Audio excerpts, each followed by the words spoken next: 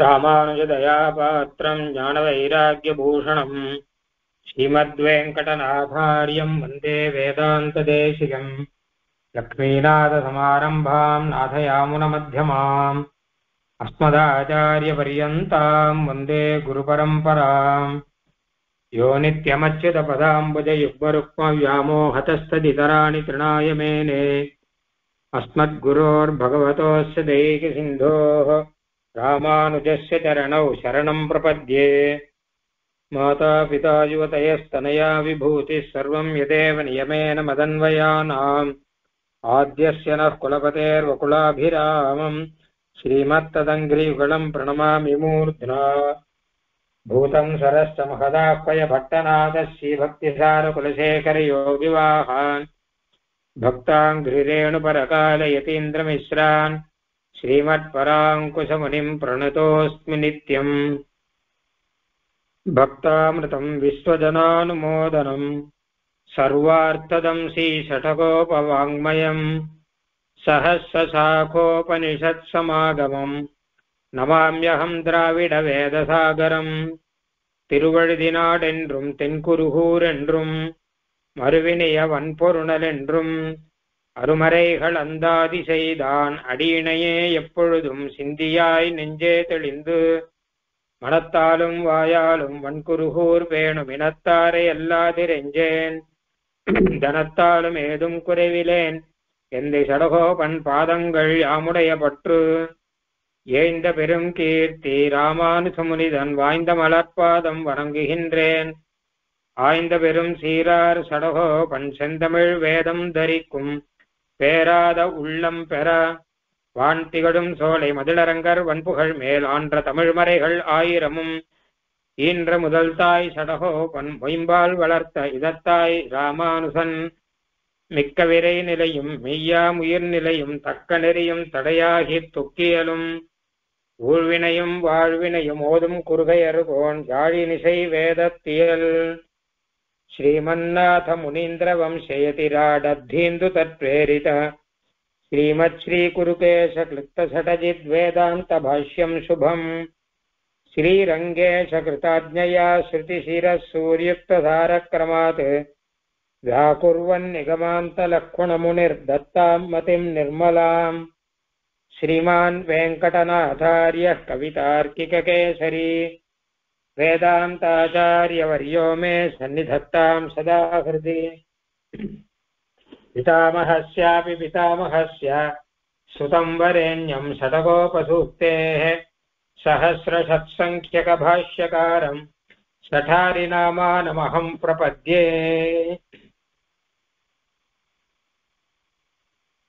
எம்பெருமானான ஸ்ரீமன் நாராயணன் தன்னுடைய ஆசிரியர்களுக்கு பக்தர்களுக்கு சுலபனாக பக்தர்களுக்கு வசப்பட்டவனாக எம்பெருமான் இருக்கிறான். ஸ்ரேஷ்டவசியா தன்னுடைய பக்தர்களுக்கு தான் வசப்படக்கூடியவன் அப்படிங்கிற விஷயத்தை சுவாமி நம்மாழ்வார் எட்டாம் பத்திலே சாதித்துக் கொண்டிருக்கிறார். அதிலே முதல் திருவாய்வழி தேவிமாராவர் என்பதிலே நாம் பார்த்தபோது எம்பெருமான் திதிர்க்ஷாயாம் திருஷ்யா அவனை காண வேணும் என்று ஆசைப்பட்டால் அவனை காணலாம். அந்த அளவு பக்தர்களுக்கு வசப்படுபவன் அப்படின்னு சொன்னார். அடுத்தது இப்பொழுது நாம் இரண்டாம் திருவாய்மொழி பார்க்க போகிறோம். நங்கள் வரிவளை ஆயங்கோலோ ஆயங்காலோ என்பதாக. இதில் எம்பெருமான் அவனை அடைய வேண்டும் என்று ஆசைப்பட்டால் அடையத்தக்கவன் அப்படிங்கிற விஷயத்தை இதில் சொல்றார். பார்க்க வேண்டும் என்று ஆசைப்பட்டால் பார்க்கத்தக்கவன். அடைய வேண்டும் என்று ஆசைப்பட்டால் அடையத்தக்கவன். அப்படிங்கிற விஷயத்தை இந்த மாதிரி முறையிலே அவனை நாம் பார்க்க முடியும். அவனை நாம் அடைய முடியும் முதலான முறையிலே பார்த்தால் தன்னுடைய பக்தர்களுக்காக அவன் எது வேணுமானாலும் செய்யக்கூடியவன் அவர்களுக்கு சேவை தரக்கூடியவன் அவருடைய கைங்கத்தை கைங்கரியங்களை ஏற்றுக்கொள்ளக்கூடியவன் முதலானதெல்லாம் எம்பெருமானுடைய குணங்களாக தெரிகிறபடினாலே இந்த எட்டாவது பத்திலே சிரேஷ்ட வசியா தன்னுடைய பக்தர்களுக்கு வசப்படக்கூடியவன் அப்படிங்கிற விஷயத்தை ஆழ்வார் சாதிக்கிறார். இதிலே ஆச்சரியமாக போன திருவாய்மொழியிலே அதாவது முதல் திருவாய்மொழியை நாம் பார்க்கும் பொழுது காணுமாறு அருளாய் உன்னை காணுமாறு அருளாய் என்பதாக ஆழ்வார் பிரார்த்திக்கிறார்.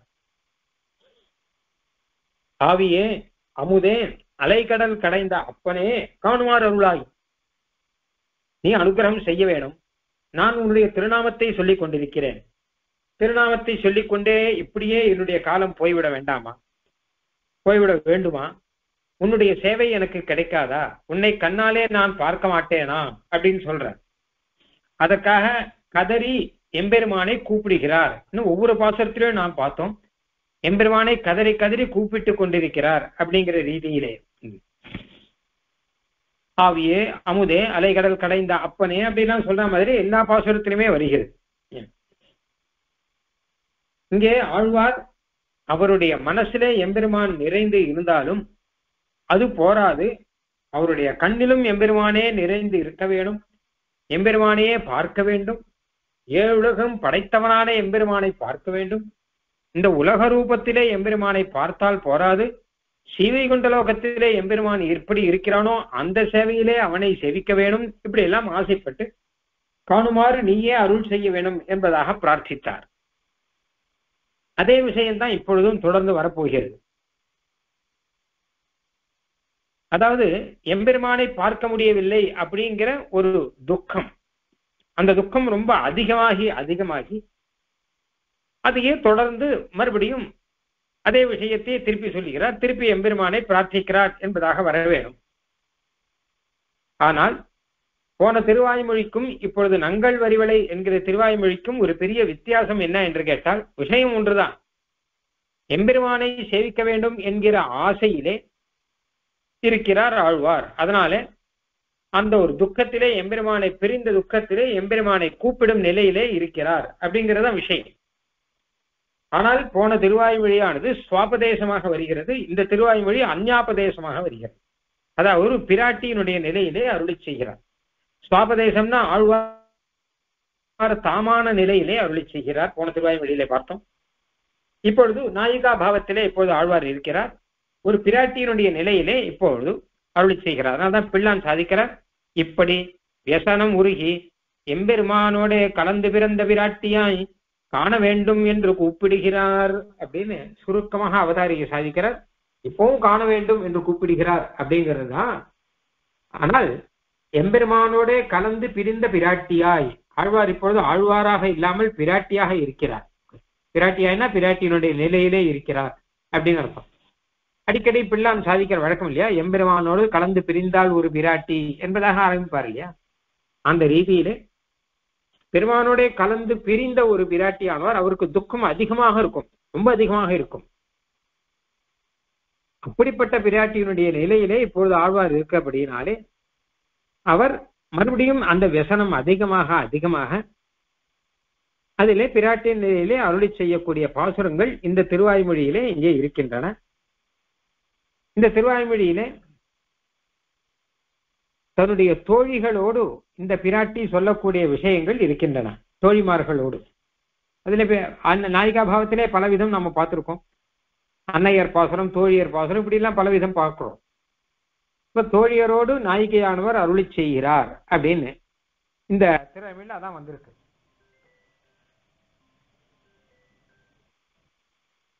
ஏன் இப்படி அமைக்கிறார் அப்படின்னா அந்த தோழிமார்கள் எல்லாம் இந்த நாயகியிடம் கேட்கிறார்களாம். உனக்கு என்ன கஷ்டம்? எதனாலே நீ இப்படி கஷ்டத்திலே வருத்தத்திலே நீ மூழ்கி இருக்கிறாயே? உனக்கு என்ன கஷ்டம் என்பதாக கேட்கிறார்கள். அப்போது நாயிகை சொல்கிறாள் எனக்கு என்ன கஷ்டம் என்பது உங்களுக்கு தெரியாதா?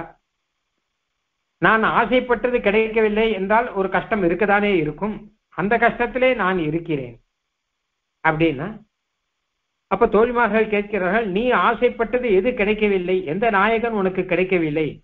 அப்படிங்கிறார்.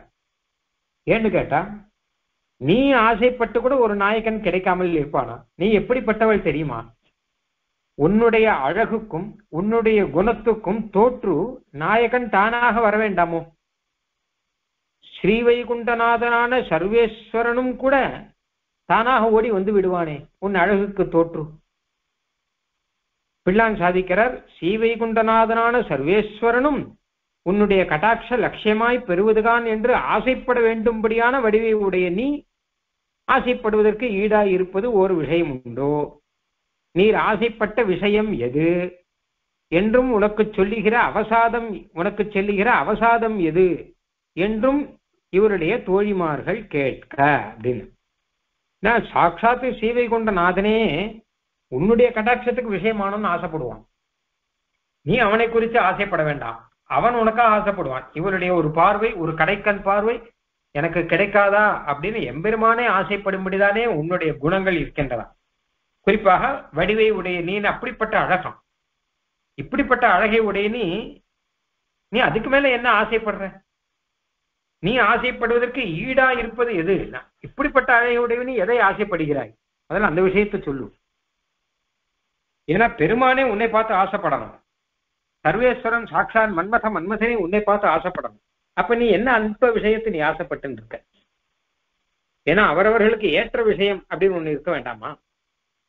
அப்ப நீ ஆசைப்படுவதற்கு ஈடாய் இருப்பது எது?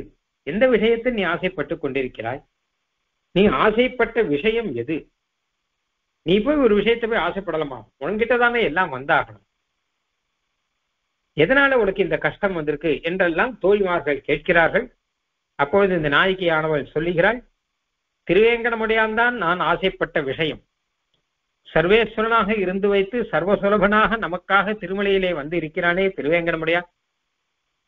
அவனை தான் நான் ஆசைப்பட்டு இத்தனை கஷ்டப்பட்டு கொண்டிருக்கிறேன் அவன் கிடைக்காமையாலே அவனுடைய சேவை கிடைக்காமையாலே அப்படின்னு சொல்லுகிறார் என்பதாக இந்த பாசுரம் ஆரம்பம். இப்பொழுது முதல்ல பிள்ளானுடைய சீசுக்தி ஸ்ரீவைகுண்டநாதனான சர்வேஸ்வரனும் உன்னுடைய கடாட்ச லட்சியமாய் பெறுவதுதான் என்று ஆசைப்பட வேண்டும்படியான வடிவை உடைய நீ ஆசைப்படுவதற்கு ஈடாயிருப்பது ஓர் விஷயம் உண்டோ? நீ போய் அல்ப விஷயத்தில் ஆசைப்படலாமா? நாச்சியார் சாதிக்கிறார் மானிடவர்க்கு என்று பேச்சுப்படில் வாழகில்லேன் கண்டாய் அப்படின்னு சாதிக்கிறார் இல்லையா? ஒரு மனுஷனுக்கு ஆசைப்படக்கூடிய நாயகி இல்லை. இவர் நீங்கள் அப்படி இல்லை. நீங்கள் எம்பெருமானைத்தான் ஆசைப்படணும். ஆனா எம்பெருமான் உங்களை ஆசைப்படும்படி நீங்கள் அத்தனை பெருமை உடையவர்கள் நீ போய் ஒரு மனுஷனை நினைச்சு கஷ்டப்படலாமாங்கிற அர்த்தத்துல கேட்கிறா அப்பதான் நாய்க்கு பதில் சொல்ல போறா திருவேங்கடமுடையான் அப்படின்னு. நீ ஆசைப்பட்ட விஷயம் எது? என்றும் உனக்கு செல்லுகிற அவசாதம் எது? என்று இவருடைய தோழிமார் கேட்க அதுக்கு இந்த பிராட்டியானவர் பதில் சொல்லுகிறார் என்பதாக ஆரம்பம். இப்பொழுது நாயிகா பாவத்திலே பாசுரங்கள் ஆரம்பம். நங்கள் வரிவலையாயங்காலோ நம்முடைய தளரும் முன்பு நாணி.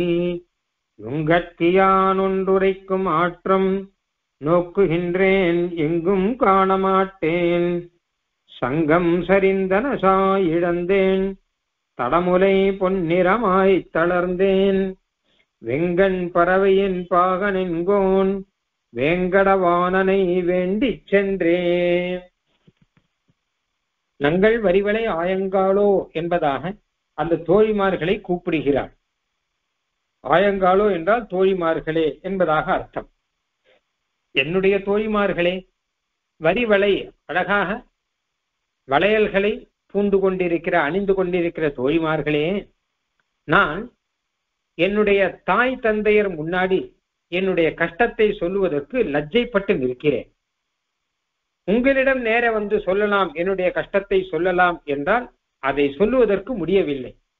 ஏனால் அளவில்லாத கஷ்டம் இருக்கிறபடியினாலே அதை சொல்லுவதற்கு வாய் கூட வரவில்லை. அதற்கு ஒரு வார்த்தை இல்லை. என்னுடைய கஷ்டத்தை சொல்லுவதற்கான வார்த்தை ஏதாவது கிடைக்குமா என்று பார்க்கிறேன். அந்த வார்த்தை கூட கிடைக்கல. ஏன்னா சாதாரண துக்கம் என்பதாக சொல்ல முடியாது. அப்படி வார்த்தை எதுவும் கிடைக்காமல் நான் தவித்துக் கொண்டிருக்கிறேன். நான் எதுவும் சொல்ல வேண்டாம். நீங்களே பாருங்கள். சங்கம் சரிந்தன.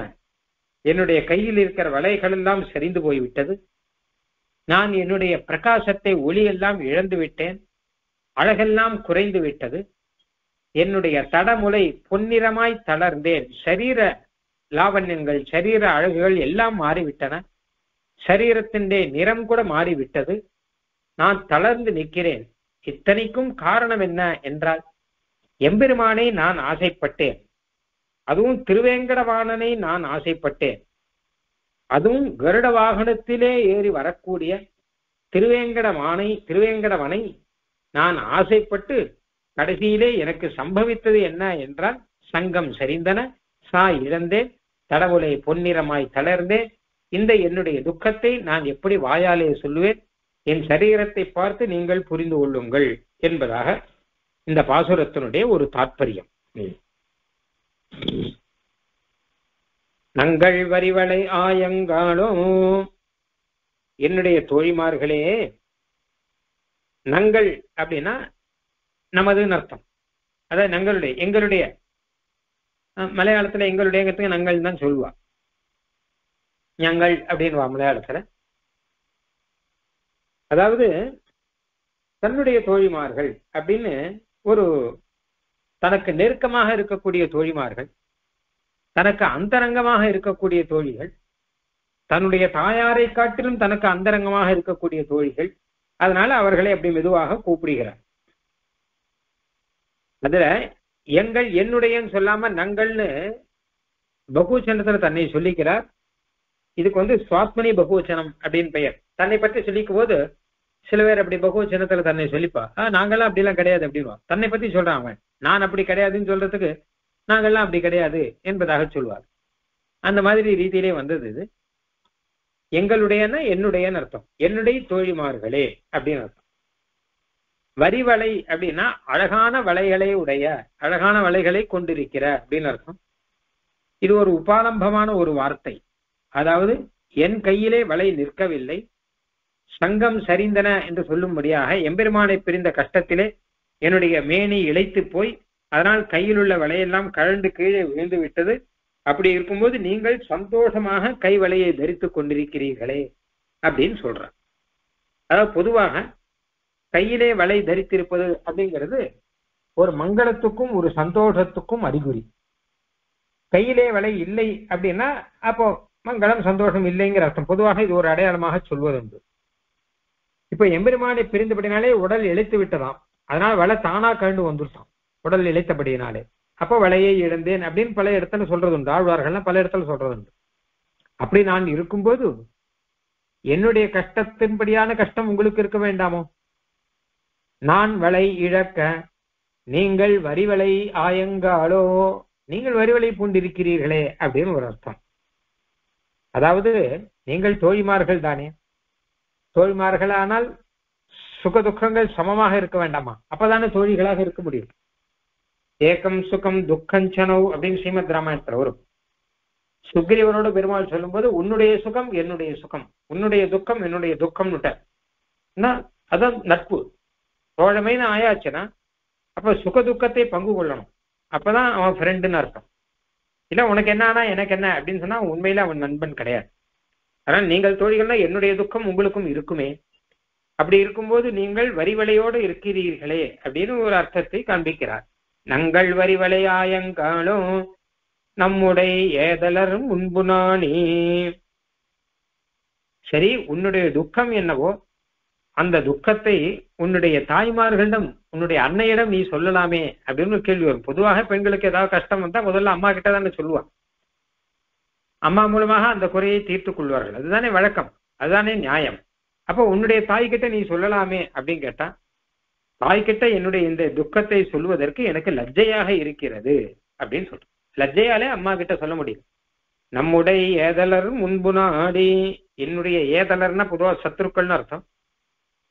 இந்த இடத்துல தாயை சத்துவாக சொன்னது எதுக்காக கேட்டா இவளால் அந்த கஷ்டத்தை கூட சொல்ல முடியலங்கிறபடினால. இவர் இவர்கள் தோழிகள் இவர்கள் கிட்ட துக்கத்தை பங்கு கொள்ள முடியும். ஆனா தாய் கிட்ட துக்கத்தை பங்கு கொள்ள முடியவில்லை. அதனாலே அது மாத்திரம் இல்லாமல் தாயார் வந்து இதெல்லாம் சொன்னா கேட்க போறதில்லை. வேங்கடவாரனை நான் வேண்டி சென்றேன் அப்படின்னு சொல்லி எம்பெருமானை ஆசைப்பட்டேன்னு பேசாம இருன்னு சொல்லுவான் அதெல்லாம் ஒன்று பேச அவர் பைத்திய மாதிரி உளராத அப்படின்னு சொல்லிடுவோம். அதுதானே பொதுவாக நடக்கக்கூடியது. அதனால எம்பெருமானோடு தன்னை சேர்த்து வைக்காத தாய் அவளை தாயாகவே நினைக்கவில்லை. அதனாலதான் ஏதலர்னு பதத்தை போட்டார். நம்முடைய ஏதலரும் முன்பு நாணி அவர்கள் முன்பு நாடி நான் லஜ்ஜைப்படுறேன் அம்மாட்ட இந்த விஷயத்தை சொல்வதற்கு லஜ்ஜைப்படுகிறேன் இங்க ஏதலர்னு சொல்லச்ச நம்முடைய ஏதலர் அப்படின்னு சொல்ற அதான் என்னுடைய ஏதலர்னு சொல்லாமல் நம்முடைய ஏதலர் அப்படின்னு சொல்றார் இது முன்னாடி சொன்ன மாதிரி தன்னையா சொல்லிக்கச்ச பூஜையில அதாவது தன்னையா சொல்லிக்கச்ச சுவாத்மனி பகுவச்சன்கிற ரீதியில நம்- நம்முடையன்னு சொல்லான்னு அர்த்தம் வச்சுக்கலாம். ஆனா வியாக்கியானத்துல என்ன சாதிச்சிருக்கா அப்படின்னு கேட்டான்னா தோழிகளையும் கூட்டிக் கொண்டு நம்முடைய ஏதலர்னு சொல்லுகிறாள். என்னுடைய சத்ருனா உனக்கும் சத்ரு தானே? சத்ருனா இங்க எதிரிங்கிற அர்த்தம் இல்லை வேண்டாதவனுங்கிற அர்த்தம். சில சமயம் அம்மா அப்பாவே வேண்டாதவள் ஆகிறாள் இல்லையா? அப்ப எனக்கு வேண்டாதவர்கள் அப்படின்னா உனக்கும் வேண்டாதவர்கள் தானே? அப்படியே தோழிலை பார்த்து நமக்கெல்லாம் வேண்டாதவர் ஒருத்தி இருக்காளே என்னுடைய தாய். அவகிட்ட இந்த விஷயத்தை சொல்றதுக்கு எனக்கு லஜ்ஜையாக இருக்கிறது வெட்கமாக இருக்கு. என்னதான் பெண் ஆனாலும் சில விஷயங்கள் தான் சொல்லலாம் சில விஷயங்களை சொல்ல முடியாது. நான் வேங்கடவாரனை வேண்டி சென்றிருக்கிறேன் அப்படின்னா சொன்னா அது அம்மா கிட்ட அதை சொல்லுவதற்கு எனக்கு முடியவில்லை அப்படின்னு சொல்றேன். இந்த இடத்துல தாயை ஏதல்லர் அப்படின்னு சொல்றது ஒரு சின்ன விஷயம். ஆனால் ஸ்ரீமத் ராமாயணத்துல பார்த்தோம்னா பரதாழ்வன் தன்னுடைய மாதாவான கைகேயியை அந்த மாதிரி தான் நினைக்கிறார் அப்படின்னு. நீ வந்து குலத்துக்கே சத்ரு என்பதாகலாம் சொல்லுகிறார். என்ன காரணம் அப்படின்னு கேட்டா என்னதான் மாதாங்கிற ஒரு சிரேஷ்டா அப்படின்னு இருந்தா கூட மாத்திருதே ஓபவ அப்படின்னு வேதம் சொன்னா கூட எம்பெருமானோடு சேர்த்து வைக்கக்கூடிய மாதாவாக இருந்தால் அவர் நமக்கு உத்தேசியமானவர். எம்பெருமானோடு சேர்த்து வைப்பதற்கு தடையாக ஒரு அம்மா இருந்தான்னா அப்போ அந்த அம்மாவை மாதாவாவே நினைக்க வேண்டிய அவசியம் இல்லை அப்படின்னு புராணங்கள்லாம் சொல்றது. ஜனனி ந சாஸ்யாது. அது அம்மாவே இல்லை அப்படிங்கிறது. அந்த ரீதியில தான் பரதாழ்வான் இருக்கு அதனால தான் அங்கேயும் கை வந்து பரதாழ்வான் சத்ருவா நினைக்கல.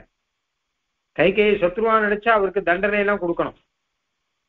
என்னன்னோ பண்ண சத்ருக்குன்னு ஏதோ பண்ணணும் பார்த்தா ஆனால் பரதாழ்வான் சொல்ற கைகையை நம்ம எதுவுமே பண்ணக்கூடாதுன்னு சொல்லிட்டார். எந்த உபத்திரமும் பண்ணக்கூடாது.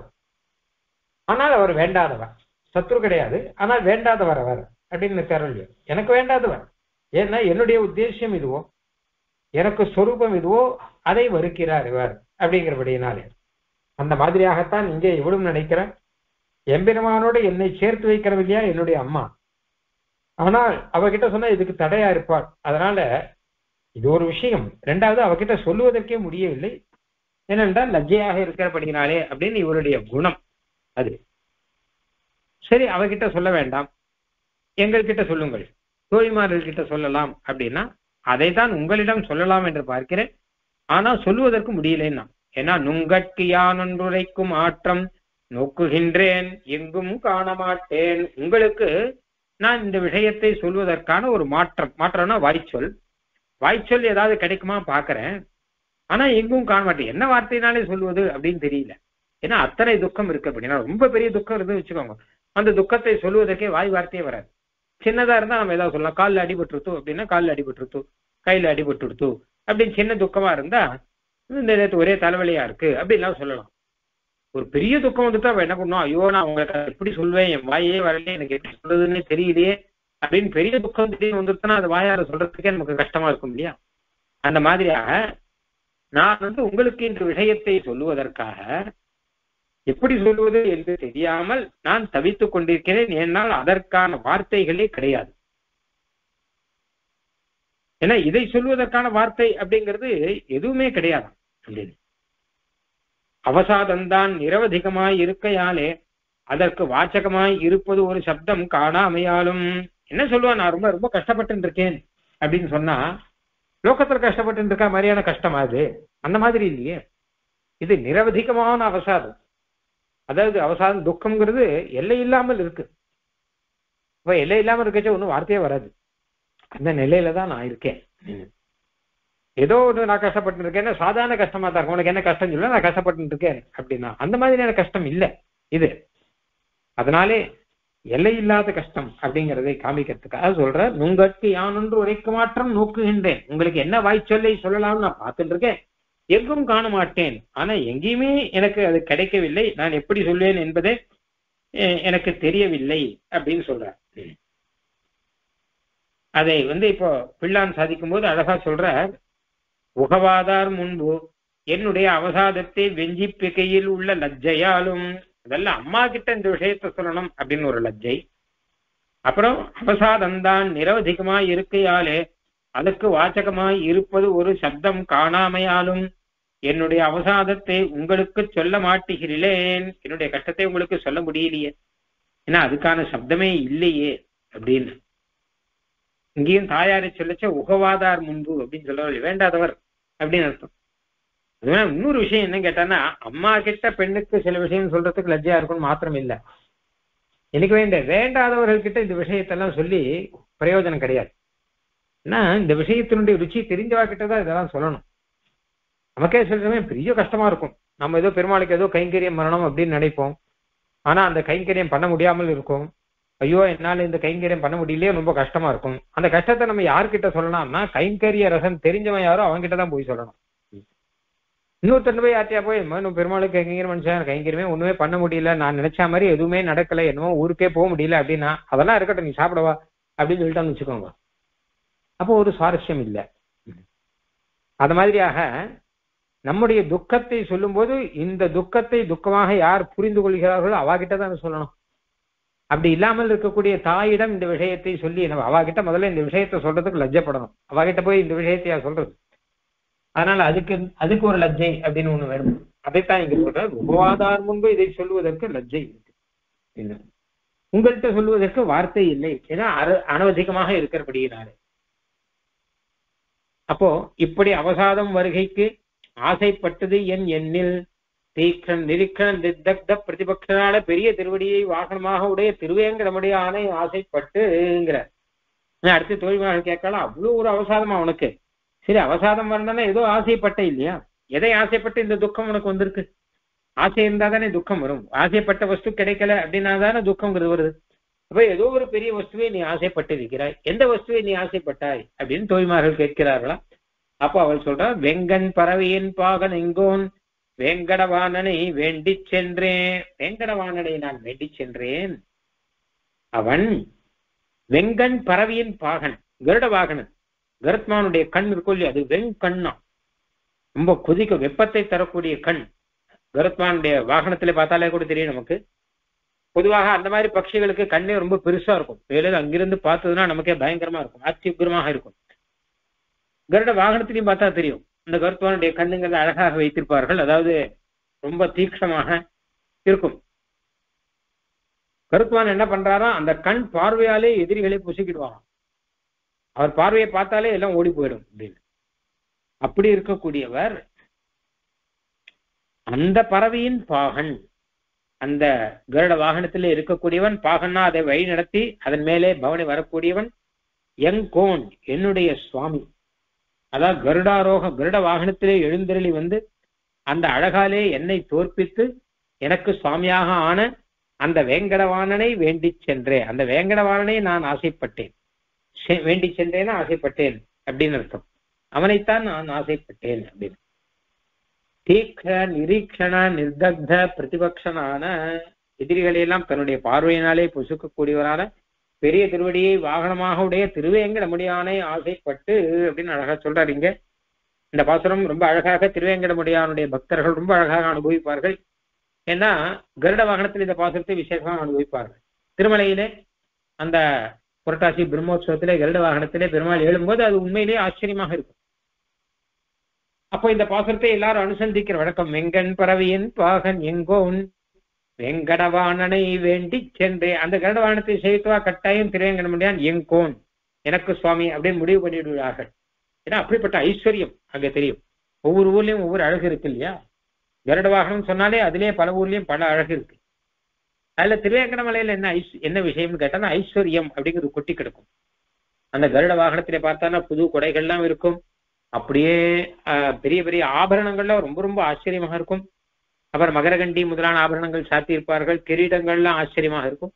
ஐஸ்வர்யமும் அந்த வைபவமும் கொட்டி கிடக்கும் இடமானபடியினாலே அப்படிப்பட்ட கருட வாகனத்திலே பெருமாள் ராத்திரியிலே எழுந்தருளும் போது அநேக லட்சக்கணக்கான பக்தர்கள் எல்லாம் காத்து பெருமாளை சேவித்துக் கொண்டிருக்கும் பொழுது அப்போ என் கோன் என் சுவாமி இவன் தான் அப்படின்னு முடிவுக்கு நம்மளாலே வர முடியுமா? அந்த அழகை சேவித்து அதனால வெங்கன் பறவையின் பாகன் எங்கோன் வேங்கடவாணனை வேண்டி சென்றேன் கருடாரோகண சஞ்சார சாதுரியாலே என்னை அடிமை கொண்டு எனக்கு சுவாமியான அப்படின்னு சாதிக்கிறார் சாக்ஷாத் சுவாமி.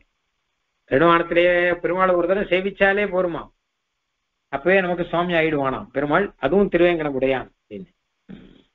அந்த எம்பெருமானை ஆசைப்பட்டேன். சரி ஆசைப்பட்டு என்ன ஆச்சு? உனக்கு என்னமோ கஷ்டம் கஷ்டங்கிறே என்ன கஷ்டம் அப்படின்னா அதான் என்னுடைய கஷ்டத்தை வாயாலே சொல்ல முடியாதே.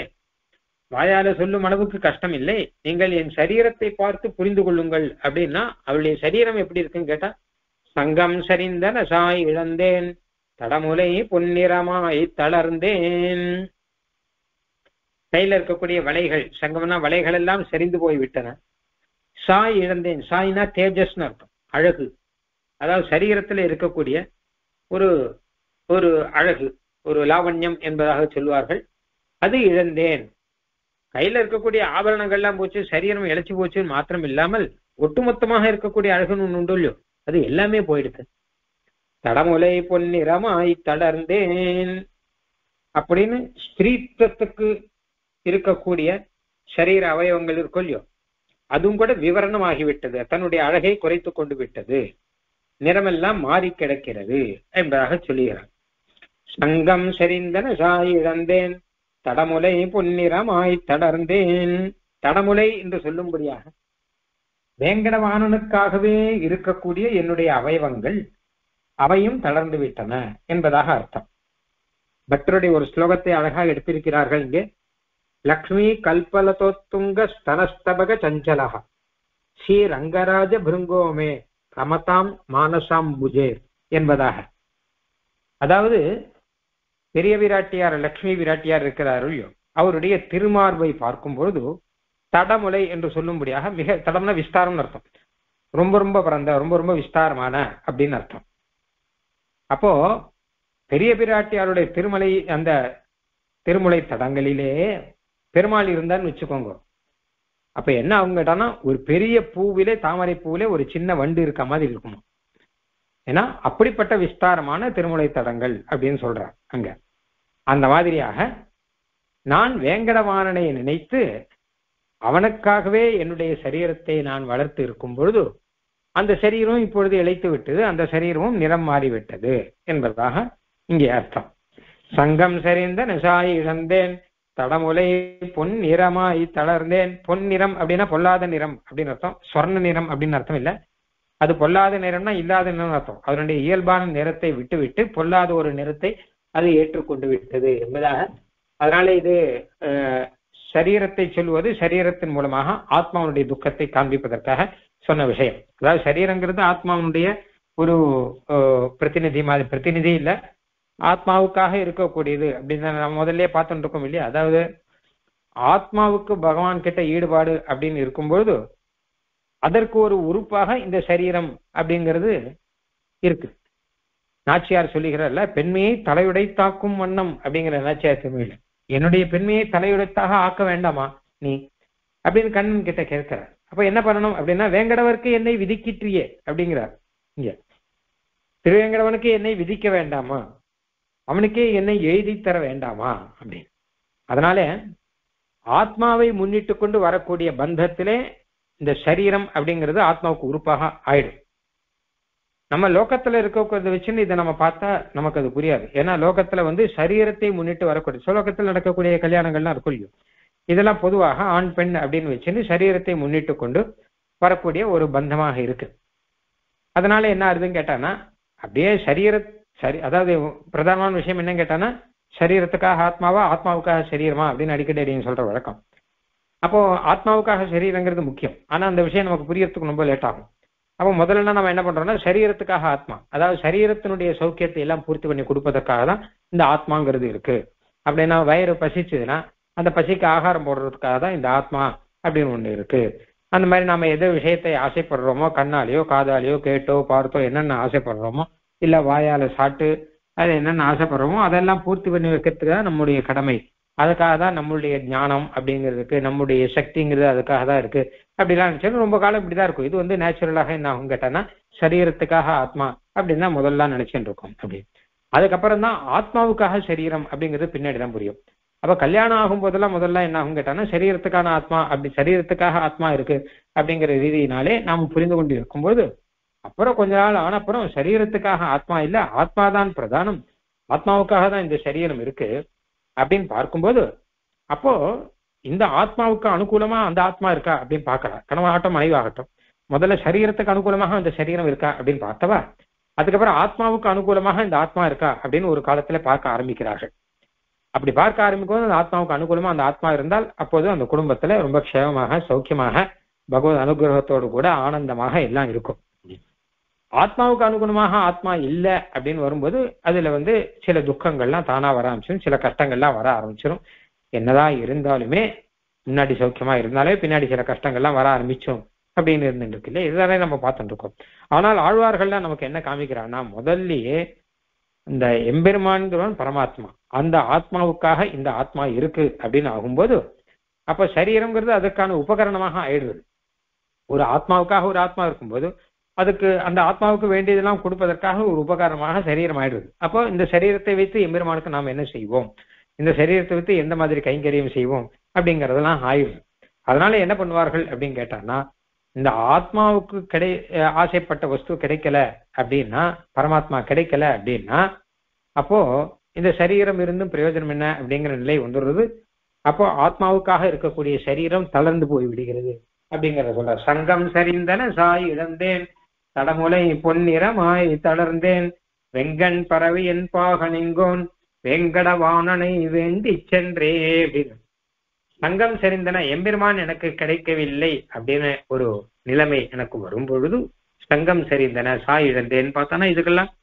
வந்து கொஞ்சம் சாபதேசம் அப்படிங்கிற ரீதியில என்னுடைய ஞானங்கள்லாம் எத்தனை இருந்தும் எனக்கு பிரயோஜனமே இல்லை அப்படிங்கிற ரீதியில ஆயிடுத்து என்னுடைய இச்சையெல்லாம் எத்தனை இருந்தும் அது எங்கிட்ட இல்லை என்கிற ரீதியிலே ஆகிவிட்டது. என்னுடைய சுரூபம் சேஷத்துவ சுரூபம் அப்படிங்கிறது இருக்கும் அதுவே வந்து ஒண்ணுமில்லாமல் தளர்ந்து போகின்ற நிலையிலே ஆகிவிட்டது அப்படிங்கிற ரீதியில் ஆயிடும் சங்கம் அப்படின்னா இச்சைன்னு வச்சுக்கோங்க. கோசாய் அப்படின்னா ஞானம்னு வச்சுக்கோங்க. இப்படி ஏதாவது அர்த்தம் நம்ம சொல்ல முடியும் இதற்கு. அதனால ஆத்மாவுக்கு இருக்கக்கூடிய ஞானம் இச்சை பக்தி முதலானதெல்லாம் இருக்கும் இது எல்லாமே ஞானம் இச்சை பக்தி இது எல்லாமே தளர்ந்து போகக்கூடிய நிலையிலே ஆகிவிட்டது. ஏனென்றால் எம்பெருமான் வராதபடியினாலே அப்படின்னு அர்த்தம். அது பிள்ளான் சுருக்கமா சொல்லிட்டேன். திருவேங்கடமுடையானை ஆசைப்பட்டு சங்கம் செறிந்தன. சாயிழந்தேன் தடமுறை பொன்னிலமாய் தளர்ந்தேன். என்று சொல்லுகிறா என்கிறாள் அப்படின்னு சொல்லிச்சார் அடுத்த பாசுரம். வேண்டிச் சென்றொன்று பெருகிற்பாரில் என்னுடைய தோழி அருணுங்கட்கேலும் ஈண்டு இது உரைக்கும்படிய எந்தோ? காண்கின்றேன் இடராட்டியேன் யான்? தான் தகுதாமரை கண்ணன் கள்வன் விண்ணவர் கோன்னங்கள் கோனை கண்டால் ஈண்டிய சங்கும் நிறைவும் கொள்வான். எத்தனை காலம் இழைக்கின்றேனே? இப்ப தோழிமார்கள்லாம் கேட்கிறார்கள் ஓஹோ நீ ஆசைப்பட்ட விஷயம் எதுன்னு முதல்ல கேட்டார்கள். வேங்கடவானனை வேண்டி சென்றே அப்படின்னு இவள் சொன்னாள். அப்போ திருவேங்கடமுடியானதான் நீ ஆசைப்பட்டியா? அப்போ ரொம்ப நல்லதாயிட்டே அப்படின்னா. ஏன்னா நாங்க பயந்துட்டோம். நீ எப்படிப்பட்டவள்? எம்பெருமானை சேவை கொண்டனாதிரே உன்னை ஆசைப்பட வேண்டும்படி இருக்கக்கூடிய நீ அல்ப விஷயத்தை போய் ஆசைப்பட்டாயோ அப்படின்னு நினைச்சு பயந்துட்டோம். இல்ல இல்ல. திருவேங்கடமுடியானத்தான் ஆசைப்பட்டியா? அப்ப சரி ரொம்ப சரி அப்படின்னு. ஆனாலும் நீ ஆசைப்பட்டால் கிடையாது உனக்கு இருக்குமோ? நீ ஆசைப்பட்டங்கிறது வாஸ்தவம் தான். அது நியாயமான விஷயம். ஆனால் உனக்கு ஆசைப்பட்டு ஒரு விஷயம் கிடைக்கலையே. அப்படி கூட ஒன்று இருக்க முடியுமா? அப்படின்னு கேட்கிறாளாம் அப்போ அதுக்கு பதில் சொல்ற அந்த தோழியை பார்த்து வேண்டி சென்றண்டு பெருகிற்பாரில் ஒரு விஷயத்தை ஆசைப்பட்டு அந்த விஷயம் கிடைப்பவர்கள் யார் இருக்கிறார்களோ அவர்களில் நான் தான் பெரியவள். ஏன்னா நான் எது ஆசைப்பட்டாலும் எனக்கு கிடைக்கும். ஆனாலும் இப்பொழுது என்னுடைய நிலை தோழிமார்களே என்னுடைய நிலை எப்படி ஆயிடுட்டு தெரியுமா? என்னுடைய கஷ்டத்தை அந்த ஆசைப்பட்டு நான் கிடைக்கவில்லை அப்படிங்கிற ஒரு கஷ்டத்தை உங்களுக்கு சொல்லும்படியான நிலையில கூட நான் இல்லை. அந்த அளவு மோசமாக ஆகிவிட்டது. கிடைக்கவில்லைன்னு கஷ்டம் மாத்திரம் இல்லை. அந்த கிடைக்கவில்லைங்கிற கஷ்டத்தை வாயால சொல்லுவதற்கு கூட முடியவில்லை அப்படிங்கிற அளவு என்னுடைய துக்கம்ங்கிறது அத்தனை தீர்க்கமாக ஆகிவிட்டது. நான் இடராட்டியேன் துக்கப்படுபவள் அப்படிங்கிறது மாத்திரம்தான் இப்போ ஒரே வரையில சொல்ல முடியும் என்னை பத்தி. அந்த நிலை எனக்கு ஆகிவிட்டது. சரி அவனை ஆசைப்பட்டு அவன் கிடைக்கவில்லை என்றால் விட்டுவிட வேண்டியதுதானே அப்படின்னு தோய்மார்கள் சொன்னாலாம் அப்படி விட முடியாது. காந்தகு தாமரை கண்ணன் கல்வன் எம்பெருமான் எப்படிப்பட்ட அழகானவன்? அவனைத்தான் பார்க்க வேண்டும். அவன் தாமரை கண்ணன் அவன் கல்வன் என் மனதை அபகரித்தவன். அவன் விண்ணவர் கோன் அப்படி சேவை கொண்ட நாயகன். அவன் நங்கள் கோன் எங்களுக்கு நாயகனாக திருவேங்கடமலையிலே வந்து இருக்கக்கூடியவன் அப்படிப்பட்ட அவனையும் நான் மறக்க முடியாது. அப்படிப்பட்ட அவனை நான் ஆசைப்படாமல் இருக்கக்கூடியாது அப்படிப்பட்ட அவனை ஆசைப்பட்டு பெறாமல் என்னுடைய சங்கம் என்னுடைய நிறைவுன கல்யாண குணங்கள் இது எல்லாம் இழந்து நிற்கிறேன். இழந்து போன அந்த விஷயங்கள் எல்லாம் எப்பொழுது எனக்கு கிடைக்குமோ அவை எனக்கு கிடைக்கும் வரை நான் இப்படியே வருத்தத்தோடு எத்தனை காலம் இழைக்கின்றேனே எத்தனை காலம் நான் வருந்தி கொண்டே இருப்பேனோ தெரியவில்லையே என்பதாக தோழிமார்களை சொல்லுகிறார். இப்போ பிள்ளானுடைய அவதாரிகை நீ ஆசைப்பட்ட விஷயம் திருவேங்கடமுடையானாகில் அது யுக்தம் தோழிமார்கள் சொல்றான் திருவேங்கடமுடையான் ஆசைப்பட்டியா? நல்லது. உனக்கும் கூட ஸ்பிருகணீயமானவன் ஆகிலும் நீ ஆசைப்பட்டால் கிடையாததுண்டோ? நீ ஆசைப்பட்டா கிடைக்கும். அதாவது அவ தோழிமார்கள் கேட்க பதில் சொல்ற மாதிரி இருக்கு. ஒரு ஒரு ஒரு விஷயம் அப்படி வருது.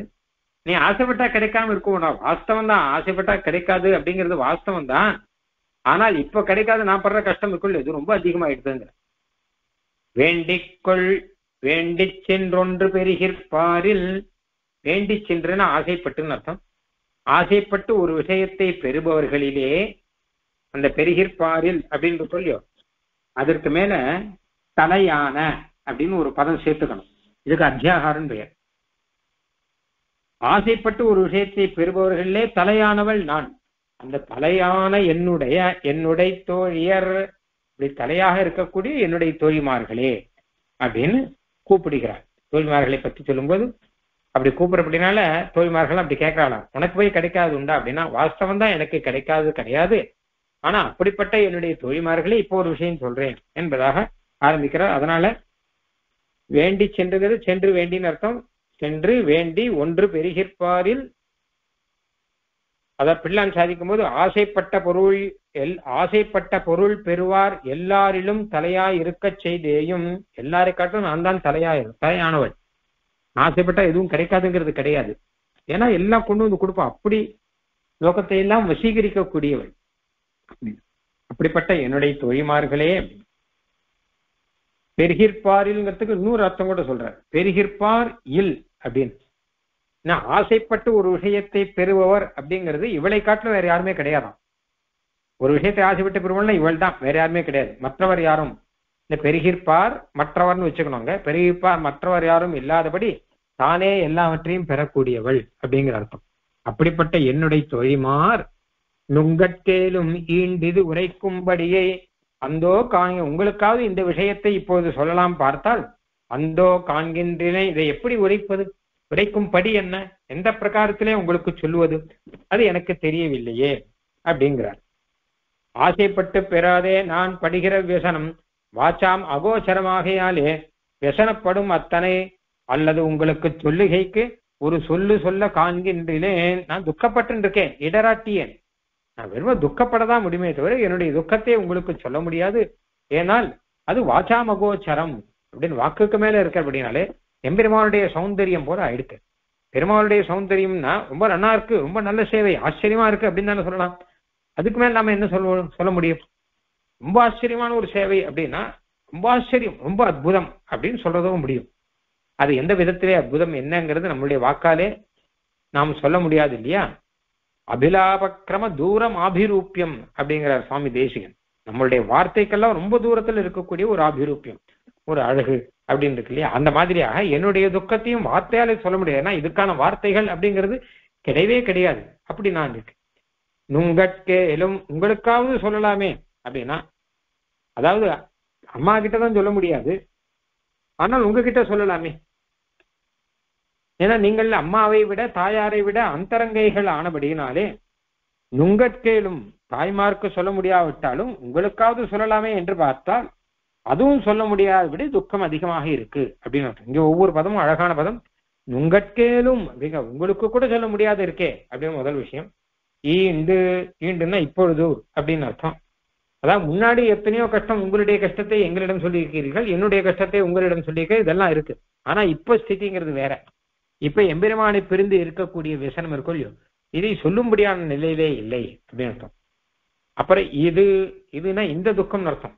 லோகத்துல எந்த துக்கம் வந்தாலும் அந்த துக்கத்தை வாயால சொல்லிடலாம். ஆனால் நான் மனசிலே ஆசைப்பட்ட நாயகனை அதுவும் திருவேங்கடமுடியானை நான் பார்க்க முடியாமல் படுகிற அவஸ்தை இருக்கே இதை சொல்ல முடியாது. அதான் எல்லாத்தையும் சாட்சா சுவாமி சாதிக்கிறார். அன்னைமார்களை போல் அன்றிக்கே அந்தரங்கைகளாக உங்களுக்கு சொல்லுகிறது என்று பார்த்தாலும் ஈண்டு இப்பொழுது முன்பெல்லாம் சொன்னேனாகிலும் இப்பொழுது சொல்ல முடியவில்லை. இது மற்ற வியசனங்களை சொன்னேன். இந்த வியசனத்தை சொல்ல முடியாது அப்படின்னு. எல்லா துக்கத்தையும் ஊற்றி சொல்லிடலாம். எந்த கஷ்டமானாலும் சொல்லிடலாம். நிறைய லட்சக்கணக்கில் நஷ்டம் வந்தா நஷ்டம் ஆயிடுத்துன்னு சொல்லலாம். ஆனா இந்த துக்கத்தை நான் உங்களிடம் சொல்ல முடியாமல் தவிக்கிறேனே. அந்தோ ஈண்டு இது உரைக்கும்படியை அந்தோ காண்கின்றேன். அந்தோ. அந்தோன்னு தன்னையே சொல்லிக்கிறார். ஐயோ நான் என்ன பண்ணுவேன்? உங்களுக்கு சொல்லி ஆற வேண்டும்படி இருக்க செய்தேன். சொல்லும்படியை காணேன். ஒரு துக்கம்னு வந்தா இன்னூத்தட்ட சொல்லினா தானே துக்கம் குறையும். அதுவும் தனக்கு வேண்டியவர்களிடம் வேண்டிய தோழிகளிடம் அந்த துக்கத்தை சொல்லி அந்த துக்கத்தை ஆற்றிக்கொள்ள வேண்டும். சுவர்ஜன சம்விபக்தம் கலு துக்கம் சஹ்யவேதனம் போதி என்பதாக சொல்லுவார்கள் சம்ஸ்கிருதத்துல துக்கத்தை சகிக்கணும்னா அதுக்கு நல்ல வழி என்னன்னு கேட்டா இன்னொருத்தர்கிட்ட அதை நாம இறக்க வேணும். கொஞ்சம். பகிர்ந்து கொள்ள வேணும் அப்படின்னு இருக்கு. அப்ப உங்ககிட்ட சொல்லிதானே என் துக்கத்தை நான் ஆற்றிக்கொள்ள வேணும். ஆனா உங்ககிட்ட சொல்ல முடியாத அளவு துக்கம் ஆயிடுச்சுன்னா என்ன பண்ணுவேன் வாய் கொண்டு சொல்லக்கூட முடியாத ஒரு துக்கம் வந்துருச்சுன்னா நான் எப்படி ஆற்றிக்கொள்வேன் அதனால அந்தோ அப்படின்னு இது உங்கள்கிட்ட சொல்லுவதற்கான வழி கூட தெரியலையே ஐயோ நான் என்ன பண்ணுவேன் அப்படின்னா இந்தோ இடராட்டிய என்யான் அந்த அளவு துக்கத்தை உடைய நான் துக்கத்தை உடையவள் அப்படிங்கிற மட்டும்தான் நிற்கும் போல இருக்கு. வேற எதுவுமே நிக்காத போல இருக்கு. சரி அப்படியானால் அடுத்து சொல்லுகிறார் அவனை ஆசைப்பட்டால் உத்தரக்ஷணம் பெறாதொழியில் தளர்ந்து கொண்டு நிற்கும் இத்தனையோ என்னில் சரி ஆசைப்பட்டால் கிடைக்கவில்லை. அதுக்காக இவ்வளவு துக்கப்பட்டு இருப்பாள் ஆசைப்பட்ட வசதி கிடைக்கலன்னா என்ன பண்ணணும் கேட்டா சுலமான வழி எல்லாரும் என்ன சொல்லணும்னா மறந்துட வேண்டியது. மறந்து விடுந்து அதில் ஆசைப்படாமல் இருக்க வேண்டியது. அப்படிதான் சாமானிய விஷயத்துல சொல்றார்கள். இப்ப அந்த மாதிரி திருவேங்கடவானுடைய சேவை கிடைக்கலன்னா அப்ப விட்டுட வேண்டியது தானே அப்படின்னா அது விட முடியாது அப்படிங்கிறதுக்காக சொல்றார் திருவேங்கடமுடியானை பற்றி சொல்லும்போது அழகான சில வார்த்தைகள். ஒன்னு கான் தகு. இரண்டாவது தாமரை கண்ணன் மூன்றாவது கல்வன் நாலாவது விண்ணவர் கோன் ஐந்தாவது நங்கள் கோன்னு இத்தனை சொல்ற காந்தகு அதாவது பார்ப்பதற்கு ஏற்றவன். அவனை தான் காந்தகு தோழன்னல் அப்படின்னு சொன்னாரோ இல்லையோ? இதை வச்சு தான் சொல்லிருக்காரு போல இருக்கு. அவனே காணத்தகுந்தவன் அப்படின்னா ஏன்னு கேட்டா சதா அனுபூயமானாலும் அபூர்வ தரிசனீயமாய் எத்தனை தடவை சேவித்தாலும் திருப்பி திருப்பி சேவிச்சா ஒரு ஆச்சரியமான சேவை திவேங்கட முடியாது கிட்ட தானே கிடைக்கும். வேற எங்க கிடைக்கும்? இது. எத்தனை தடவை சேவிச்சாலும் சரி மறுபடியும் திருமலை போய் சேவிக்கும் போது அந்த பெருமானை சேவிச்சா வரக்கூடிய ஒரு ஆனந்தம் அப்படிங்கிறது அங்கதானே இருக்கு. அதனால சதா அனுபவமானாலும் எத்தனை தடவை அனுபவிச்சாலும் திருப்பி திருப்பி அனுபவிக்கும்படியான அழகை உடையவன். இது கான் தகு பார்க்க தகுந்தவன் ஒன்றான் பார்த்தா அழுக்கக்கூடாது. இரண்டாவது தாமரை கண்ணன் புண்டரீக தலாமல யதமான திருக்கண்களையும் உடையானாய் தாமரை பூ போலே ஆச்சரியமான விரிந்த கண்கள் தாமரைப்பூ போலே குளிர்ந்த கண்கள் தாமரை பூ போலே சிவந்த கண்கள் தாமரை பூ போலே அழகான கண்கள் தாமரை பூ போலே மலர்ந்த கண்கள் எல்லாம் உடையவன். கல்வன் என்னை அபகரித்து கொண்டவன் அர்த்தம். தத் சௌந்தரிய பரிமுஷித சகல ஜன மயோ மனோநயனஹாரியாய். என்னை மட்டும் இல்ல சகல ஜனங்களையும் போட்டிருக்க. அந்த திருவேங்கல் விளையாடத்துக்கு தான் பொருந்தும் இது.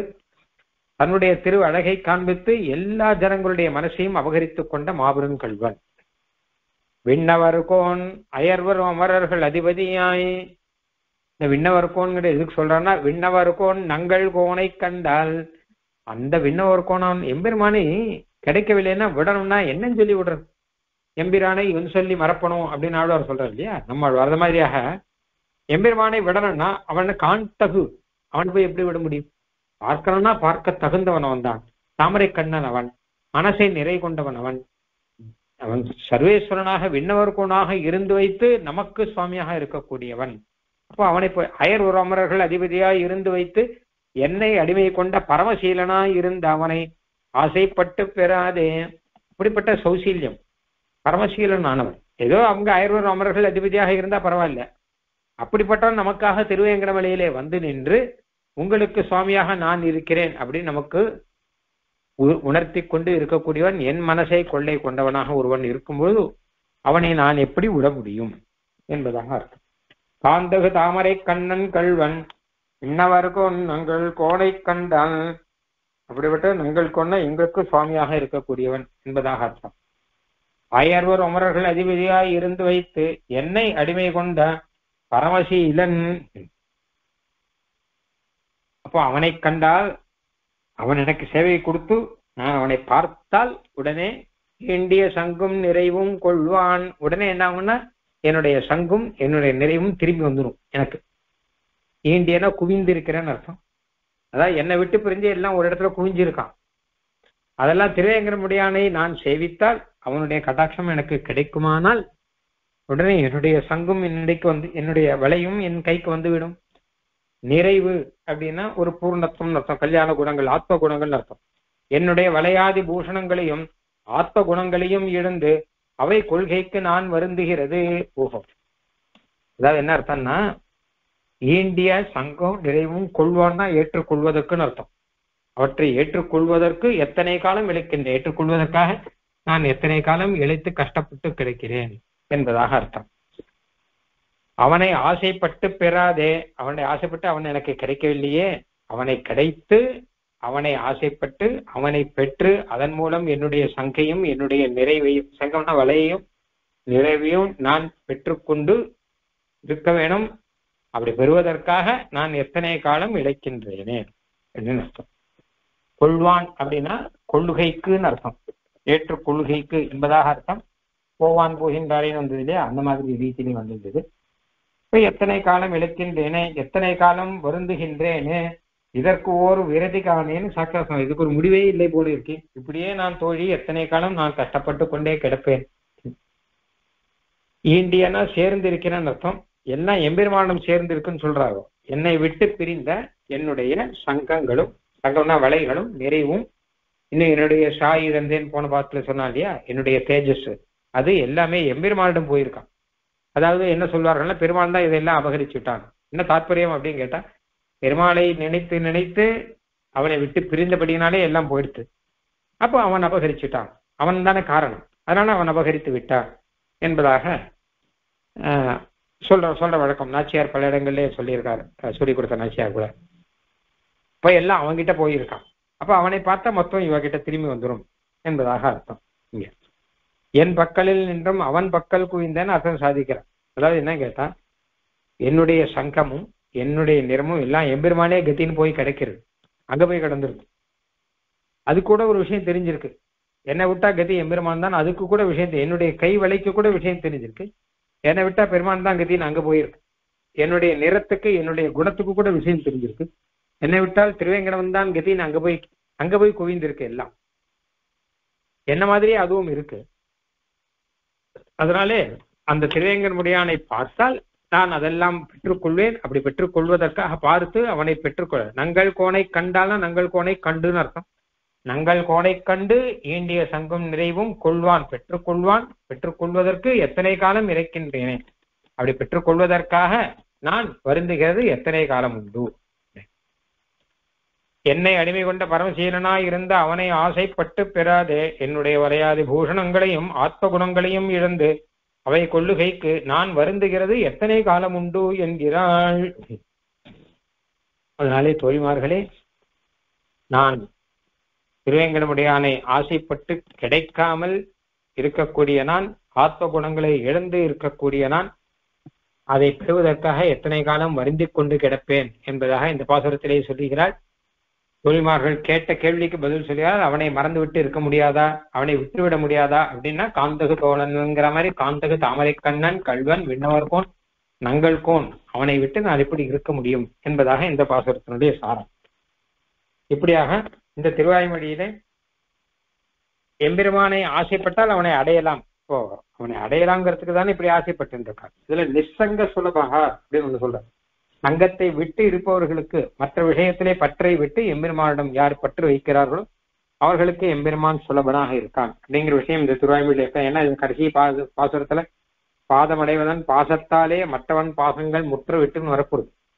அதனால மற்ற பாசங்களை விட்டு விட்டு எம்பெருமானிடம் பாசம் வைப்பவருக்கு எம்பெருமான் சேவை கொடுப்பான் அப்படிங்கிறது இங்க விஷயம். இப்போ இங்க தாத்பரிய ரத்னாவளி ஸ்லோகம் பார்க்கும்போது ஆர்க்ஷோத்யத்வாகனத்வாத் शुभनयनतया नीलमेघाकृतित्वात् आश्चर्योच्चेष्टितत्वात् दुरवधरतया योगभिर्निर्जरैश्च शेषु व्यामुग्धभावात् प्रतिहतिविरहात् दुर्जनादृश्यभावात् निःसङ्गानाम् जनानाम् सुलभतम इति प्राह नाथस्य धारिः எம்பெருமான் நிசங்கானாம் ஜனானாம் சுலபதமஹா நிச்சங்கம்னா சங்கம் இல்லாதவர்கள் பற்று விற்றவற்றவர்கள் பற்று விட்ட ஜனங்களுக்கு எம்பெருமான் சுலபன் அவனை சுலபமாக பற்றி கொள்ளலாம். அவன் சேவை கொடுப்பான். மற்ற விஷயத்திலே ஆசைப்பட்டு அப்படி இப்படின்னு இருந்தான்னா சரி கொஞ்ச நேரம் அங்கேயே எரிஞ்சுன்னு இருக்கட்டும் அப்படின்னு விட்டுடுவான். எல்லா ஆசையும் விட்டுவிட்டு எம்பெருமானை பற்றி நின்றால் எம்பெருமான் சர்வ சுலபனாக அவர்களுக்கு சேவை கொடுப்பான் அப்படிங்கிற விஷயத்தை இங்கே சொல்லுகிறாராம் ஆழ்வார். இதுல முதல் பாசுரத்திலே தார்க்கியோத்யத்வாகனத்வாத் தார்க்கியா கருத்மானாலே எழுந்தள்ள பண்ணப்படக்கூடிய ஒரு உயர்ந்த வாகனத்தை உடையவன் அப்படின்னு அர்த்தம். கருத்வான் என்கிற உயர்ந்த வாகனத்தை உடையவன் என்பதாக இங்கே அர்த்தம். இப்போ ஆகாசத்திலே பறக்கக்கூடிய உத்தமமான ஒரு வாகனம்.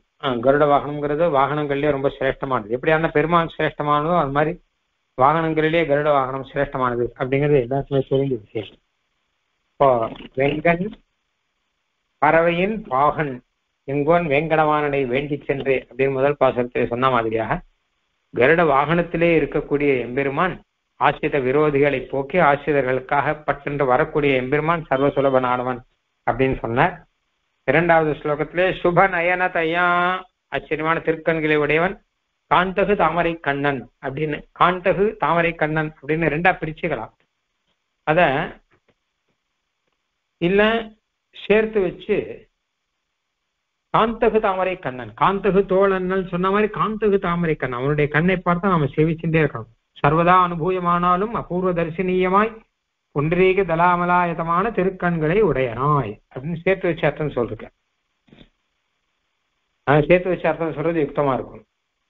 அப்ப பார்க்க பார்க்க நாம ஆசைப்படக்கூடிய ஒரு திருக்கண்களை உடையவன் அப்படிங்கிறது தான் சுபநயனத்தையா? சுப நயனத்தையா அப்படின்னு அதனால அப்படிப்பட்ட எம்பெருமானை மறக்க முடியாது அப்படின்னு சொல்ற அதனால அப்படிப்பட்ட எம்பெருமான் அந்த திருக்கண்களை அவன் வைத்துக் கொண்டிருப்பதே எல்லாருக்கும் சுலபனாக இருக்க வேண்டும் என்பதற்காகத்தான்.